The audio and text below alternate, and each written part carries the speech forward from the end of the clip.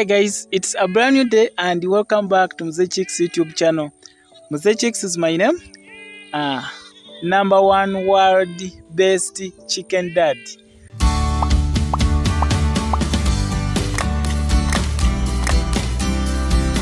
Uh, uh, we've been uh, talking about the the so to cut feed costs by just uh, use of this so-called azolla and as you're seeing here in the background uh, it's my azolla mother pond.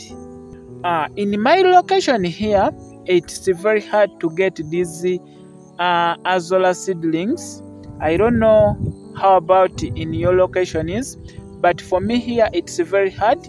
And it's the same to other people out there because uh, you've been asking me how do you get how to get these azolla uh, seedlings.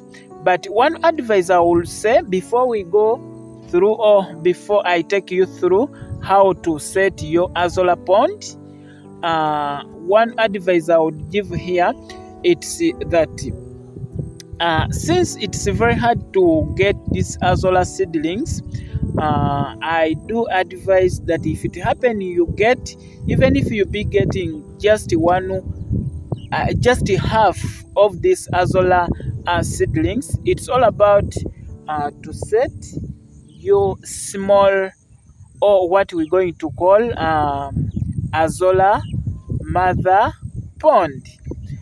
After that one is separate of course you'll be able to separate uh, or to start even in other bigger ponds. But the main important is that uh, that the seedlings you will start with.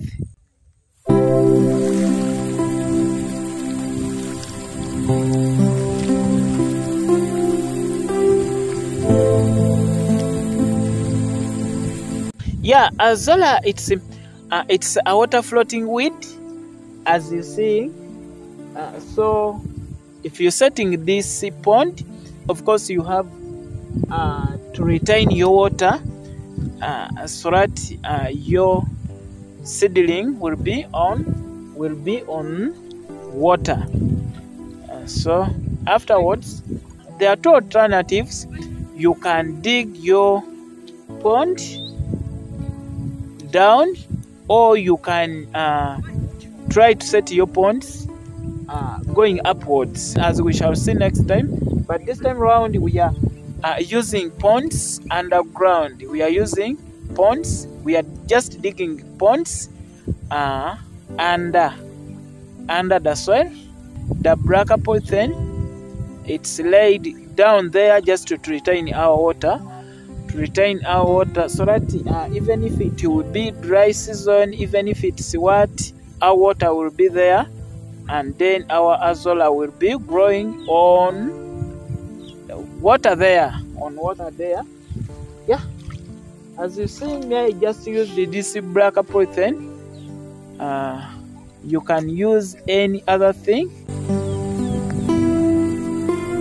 Uh, you see mine here. Of course afterwards we have to add their water. After adding their water you have to add their fertilizer in your water. In your water. Of course here we have uh, chicken dung. Uh, we have goat's dung we have cow dung. And you can use any you can use any to apply there in water. But the advice i would give here uh, use decayed use decayed uh, manure to apply there in your water. Because if you will be using fresh manure or fresh dung that one will affect your azolla as you see mine here it's a bit reddish. It's a bit reddish. It's not uh, as green uh, just for two reasons. Uh, my pond here it's in an open place. And the advice here if you're setting your ponds try to put them uh, try to give provide a shade to your ponds so they can your azola will uh, can't experience this direct sunlight. That's why you seeing mine it's a bit reddish. And then another thing your azola will be uh, green. It will show this that, that green color uh, as you apply their manure in your water. My mother pound here it's in an open place as you're seeing here so uh, my azolla experiences or receives that direct sunlight. But after removing the seedlings to other ponds of course they turn green. So try to provide shade to your azolla ponds if you want it to be to appear green. So that's very very important. I talked about the the, the, the amount of seedling you receiving uh, it will multiply within no time.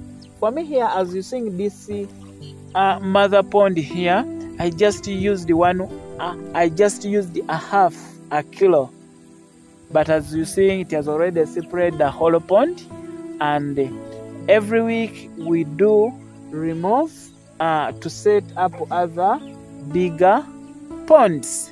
So uh, since it's very hard to get these seedlings just start with those few seedlings and then you will be spreading into other ponds within no time.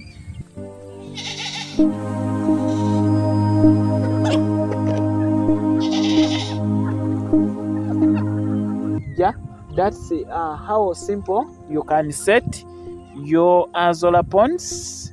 Me i just used as always i just use simple simple things we just use this black polythene uh, afterwards we added their water fertilizer there. Then we just introduce in our uh, azolla seedlings. So that's how simple you can set your azolla pond. Uh, if it happen that you want to get some seedlings just contact me. Just contact me. If you're not very far from me uh, of course you will receive those of you and you start your azolla ponds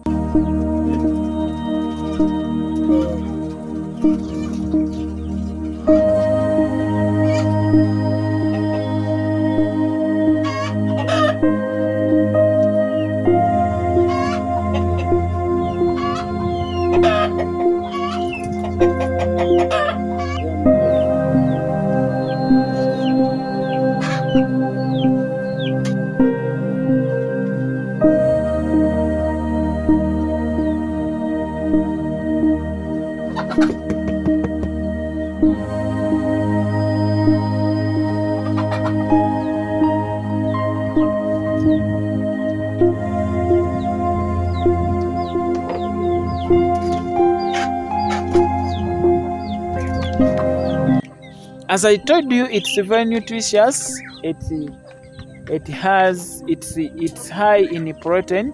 So it's very good for our local chickens and even our and even other farm animals. And it will help you to cut up to even 60 to 70 percent uh, your feeds costs. So it's a deal uh, if you don't want to go for other uh, for other things like uh, black soldier flies it's a deal. You can go uh, for azolla as you're seeing me here